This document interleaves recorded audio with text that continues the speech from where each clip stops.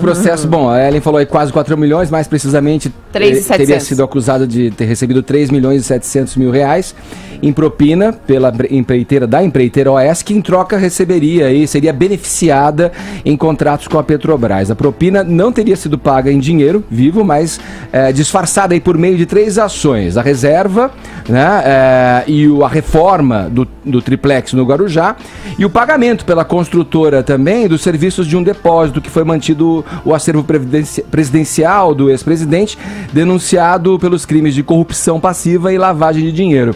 Bom, Vera, havia muitas pontas soltas aí desse processo todo. Finalmente Lula teve a chance de se defender, né, apresentar os seus argumentos em juízo. A pergunta é, o ex-presidente depois de ontem, na tua opinião, ficou mais perto de uma absolvição ou de uma condenação? Como é que Olha, você... Ed, ele reclama ali que em dois anos ele esperava que a Lava Jato tivesse reunido provas e não só suposições contra ele. Acontece que a cada prova que ele era confrontado, a gente pode ver isso várias vezes ao longo das cinco horas de depoimento, são dez vídeos de meia hora.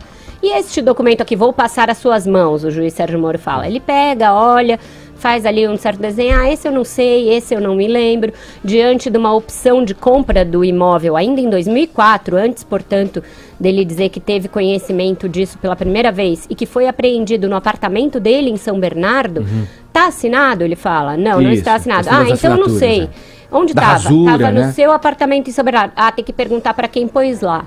Insinuando até que a Polícia Federal teria plantado um documento não assinado no documento dele. O outro da rasura, que é uma opção de compra que começa com uma unidade simples no apartamento e passa para o triplex. Muda o número da unidade. Aliás, era o triplex e eles rasuram para colocar que era uma unidade simples. Simples. Ah, tem que perguntar para quem fez essa rasura. Então não é que ele não foi confrontado com evidências e provas. Ele foi a todo momento confrontado com documentos, é, escrituras, opções de compra, esse documento, atas de reunião de condomínio, visitas ao triplex, as notas fiscais da guarda desses pertences que o Lula chamou de tranqueiras naquele é, grampo lá atrás. Então as provas apareceram a todo momento. O juiz Sérgio Moro foi bastante objetivo depois desse preâmbulo aí a que a Ellen se referiu para tentar desarmar a tese da perseguição política. Ele foi objetivo, mostrou ter pleno conhecimento das datas, da ordem cronológica dos eventos, do que disseram os depoentes anteriores. O Moro estava ali sabendo tudo. Quando o Lula falava alguma, alguma coisa, "Ah, acho que foi em tal, ele falava, é, foi em maio de 2014. Então ele tem plena ciência do processo. Já o Lula, o que ele mais falou foi: eu não sei, eu não me lembro, eu não tenho certeza, e culpar a dona Marisa por tudo, né? Dona Marisa emerge desse depoimento como uma investidora de imóveis e não uma dona de casa, que é como ela sempre foi é, mostrada nos anos do Lula da presidência, de sindicalista e de político. E até o velório agora de fevereiro. Exato. Até o velório era isso. Pelo menos eu, eu fiz a cobertura do velório, era isso. No discurso do velório, que eu já achei excessivo ele fazer um discurso político um no comício. velório, um comício,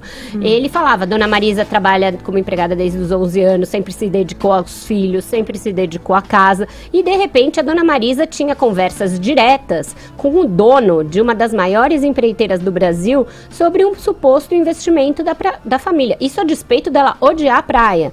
Mas ela achava que poderia ser um bom Ô, investimento. Vera, eu vi É um uma história do- que não para em pé. Eu vi o, o teu, teu, teu boletim para o Jornal da Manhã eu, e achei interessante porque quando eu, na madrugada, estava assistindo aos depoimentos né, do, do, do ex-presidente Lula, você colocou uma coisa que eu fiquei pensando na hora que eu ouvi. Ele tratou o Léo Pinheiro como um corretor de imóveis, né? Como um cara que é o dono de uma empreiteira. É Que, isso. como você bem colocou, constrói pontes, viadutos, usinas. É. Transposição de. É. Ele queria guardar os 4% de comissão, né? É, do- e porque é o que normalmente se paga um né? corretor de imóvel. Tava precisando. É, isso foi, me chamou muito a atenção na É, hora. não, ele fala como se o Léo Pinheiro estivesse pessoalmente empenhado em, em vender, querendo vender aqui. uma cobertura num apartamento do Guarujá, que era um apartamento que começou como uma cooperativa dos É. bancários, e aí a OAS viu naquilo uma janela de oportunidade de um negócio e quis encampar, como se não fosse o contrário. A OAS só encampou aquele empreendimento porque a Bancop estava falindo, dando calote nos mutuários. Isso.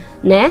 E aí pediram para a OAS entrar e terminar o condomínio. Ele, o Léo Pinheiro falou no depoimento para eu nunca achei esse um investimento rentável. Era um investimento ruim, era um mico, mas me pediram. E aí ele, Léo Pinheiro, sai lá de Salvador com tudo que ele Sim. tem para fazer e vai mostrar para a família Lula. E aí o Lula fala: "Não gosto". E aí ele fala: "Não, pensa mais um pouquinho". E continua as tratativas com a dona Marisa, uma mulher que a gente nunca ouviu a voz dela nos oito anos em que o Lula. Várias vezes eu pedi, eu queria entrevistar a dona Marisa. Franklin Martins, o André Singer falavam: "Não, a dona Marisa não fala. A dona Marisa fica em casa, ela gosta de cuidar do jardim, ela gosta de cozinhar para os netos". Era essa a dona Marisa. Não adianta querer transformar ela numa headhunter, numa super investidora, numa pessoa que fazia ali corretagem na bolsa, comprava imóveis. Ela não é essa pessoa. É interessante, o Lula precisou, ele, é, ele que conhece muito bem São Paulo, precisou, segundo a fala dele, ir ao Guarujá para ver que lá é um lugar que tem muita movimentação, muitas Ele não pessoas. poderia ir à praia, e que né? não seria legal para um cara é, famoso, né, que É. tem notoriedade. E precisou também ir ao apartamento para ver o tamanho do imóvel.